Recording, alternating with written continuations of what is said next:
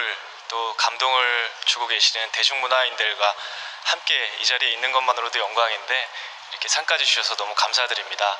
아, 앞으로도 가수로서 더 좋은 모습 그리고 여러분들께 많은 위로가 되는 목소리 많이 들려드리도록 하겠습니다. 여러분 항상 건강하고 행복하세요. 감사합니다.